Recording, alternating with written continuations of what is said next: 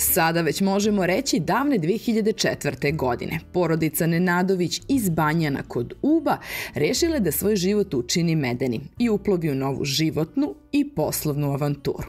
Za tamošnje meštane naš domaćin gospodin Miladin svima je bio poznat kao Miša Uča, jer je u svakoj školi u ovom kraju bio voljeni učitelj. A onda je postao i osnivač Medene reke, porodičnog pogona za preradu voća i povrća, za koji se čulo i mnogo dalje od Tamnave. Ovo mesto je osnovao kralj Dragutin. Zvalo se Medojeva reka. Tu je bilo njegovo veliko lovište, a Medojeva reka je bila zbog ove rečice koja je imala preko hiljadu vrba. One su vremenom stradale posle 200 godina, 100 godina, 300 godina, ali su i podmlađivale se a na njima su bile one vrhuške sa košnicama sa medom i je zato Medojeva reka proglasio. Međutim, bilo je dugo da bude Medojeva reka, pa smo mi stavili Medova reka. Znači, to je, praktično smo počeli da radimo prvo sa sirupima, koji su slatki, i sa slatkim programom. Posle smo prešli na zimnicu. Eto, sve jednostavno. I upravo se iz jednostavnosti rađaju najbolje ideje i proizvodi. Kada pratite prirodu, tu nema promašaja, reče nam naš domaćin mi ovde u Tamnavi i u Posavini, mi znači obrađujemo Posavinu, Tamnavu, Kolubaru i Pocerinu. To su četiri prostora na kome nema teške industrije, gde su ti zdravi proizvodi, prilično zdravi, posebno u ovim planinskim predelima i ovde u ovoj ravnici. Tako da ovaj, najviše se koriste oni proizvodi, baš u našoj proizvodnji, što se tiče slatkog programa, oni koji rastu u slobodnom prirodi, koji se ne pršću. Drenjina, trnjina, divlja kupina, malina, borovnica, razumete? A onaj deo koji se gaji, višnja, jagoda i tako dalje, ovdje ima tih mnogo plantaža. Odavde pa do cera bezbroj. Možete da birate i kvalitet i, i ne samo kvalitet i cenu, i kvalitet i sve živo. I imamo ljude koji sa nama godinama sarađuju. E, povrće, ja ne znam sad, ja mislim posle dole Leskovačkog kraja i nešto Kraljevačkog, naj, najplodniji kraj za povrće je Tamnava, Upska, Posavina i Mačva. A mi tu su, svuda nabavljamo. Svu izuzev paprike crvene.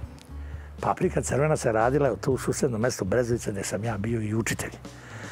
Ali su oni izračunali, pošto su dobri poljoprivrednici, izračunali da to nije tako isplativo i prešli su na sve druge paprike, a crvenu sad kupujemo u Sremu. Iako su neke stvari očigledno morale u hodu iz godinama da se promene, kvalitet je ostao isti.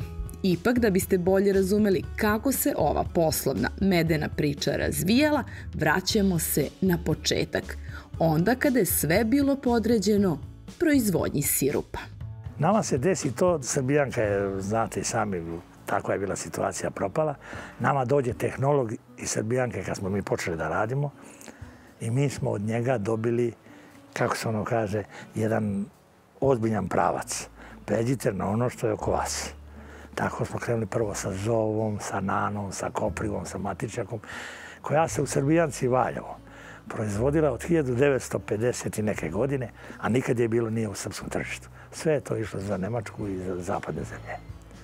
To iskustvo i dragocene savete naši dragi domaćini Nenadovići su oberučke prihvatili i to je bila njihova zlata vredna ulaznica na veliko tržište. A onda su nastavili da se mudro probijaju do brojnih kupaca. Prvo smo počeli da izlazimo na sajmove. Znači, preko Privredne komore Srbije, na sajam etnohrane, pa na sajme festivale zimnice, pa festivali ovoga. I tu se sticalo neko ime o nama da mi radimo dobru robu, kvalitetnu robu i nikada nismo imali dovoljno robe. A to je za još više provociralo kupce da kaže zašto nema kako sad to. Znači nema, nismo nekad bacili jednu flašu nečega da je, da je stradalo. I, I mi smo tako i širili. Pa smo bili proširili jedno vreme baš mnogo, pa smo sad smanjili tu proizvodnju. Pre svega nije proizvodnja kad proizvedete 80-100 komada nečega, bolje to ne proizvoditi. Mi smo radili, na primjer, jedini, u, ne u Srbiji, nego u, u celoj Balkanu, sirup od gloginje. Gloginja je jedna biljka divlja, bez koje se ne radi ni jedan prašak za srce. E, mi smo to radili i to je bila velika potreba. Ali je to otkupiti od ljudi. Pa im staj koju cenu. On ceo dan kad bere, nabere 3 kg. Šta da mu platiš? Razumem? I tako da smo ga izbacili, mi za nas skuvamo ponekad, isto ti je tako i drenjina. Znaš, to ti je mnogo zdrav, ne bi bila drenjina, kaže zdrav kod dren. To je zdrav proizvod, mi imamo drenjinu. I sad imamo, uradimo ovako za nekog, nekog prijatelja našeg tako. Ima ona i svoj matični broj, ali ne radimo više širom proizvodnju. Kada je Medena reka postala brend koji jasno upućuje na kvalitet, ono najbolje iz prirode, naši domaćini su rešili da se približe Beograđanima i načinili su još jedan jako dobar poslovni potez. Prvo smo krenuli, mi na, bili smo na pijacama i to pre svega u Beogradu. Znači Vidikovac, Kalenić i jedno vreme Zemunska pijaca. Tamo smo već stekli neke određene kupce. A onda su ti kupci počeli da se nama javljaju jer smo mi delili vizit karte. Znali smo da napravimo malo marketing i tako dalje. Tako da smo mi dobijali pozive, treba nam ovo, treba nam ovo, možemo to, da ćemo, dovećemo. Spojimo 4-5 njih, odvezemo. Nama je Beograd, nije to toliko daleko, 45-50 minuta. I onda se to počelo da širi. Onda smo krenuli u Beogradu škole. Opština Rakovica, pa škola Banovo Brdo, pekarsko-tehnička trgovačka koja ima ne znam, ja stoji nešto profesora, danas sam dobio ponudu ponovo da im pošaljemo ponudu. Pa onda škola u Vladimircima, pa u Koceljevi, pa u Šapcu, pa na Ubu, pa u Valjevu, pa, pa redom do...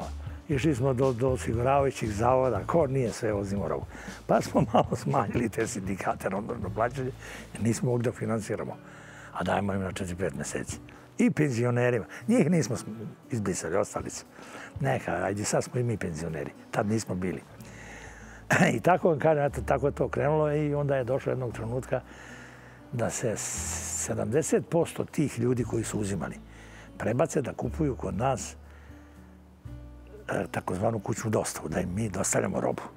I to je postao praktično hit pre jedno 5-6 godina i to se samo širi. I mi to ne krijemo. Mi to, kogod počinje da radi proizvodnju, kažemo, morate da se priviknete da organizujete proizvodnju tako da budete bliži vi kupci nego kupac vama. To je najbitnije. Jer ti kupci u Beogradu, prvo većim gradovima, bave se poslovima gde polovina njih ne može da, da oslobodi vreme da dođe sad do, na, do nas u Banjane ili tu sledeće selo i ovo, da ide nešto da kupi. Ali ako vi to pomce da nesete kući, a to će. Pa vidite šta rade ovi momci na motorčićima što nose hranu. Pa to, kad je deca kroz Beograd, svaki treći ima torbicu na leđima i teraj. E, to je, znači, u pravom trenutku smo okrenuli na taj deo posla i danas to funkcioniše tokom cele godine. S obzirom na činjenicu da je slatki program bio izuzetno dobro prihvaćen, počelo se i sa pripremom slanog programa. Ajvar je naravno favorit među kupcima. Pa nama je Ajvar sad postao i problem. Mi, da napomenem, mi smo mogli, ranije ga smo ga proizvodili, ali smo ga imali, na primjer, ostane ga i u, i u januaru, februaru. Sad to ne može da, redko kad, ne može da dočekamo novu godinu. Evo sad, na primjer, ja sad sa vama pričam, znam šta treba da vozimo, paprike danas, sutra i preko sve vjerojatno neće biti. Mi sutra već više nećemo imati ajvara. Sad ovo što dolazi, mi smo već dobili trebovanja za 10 dana što ćemo da proizvedemo. I sad to ćemo sad stalno da vučemo do decembra. I u decembru kad nestane gotovo.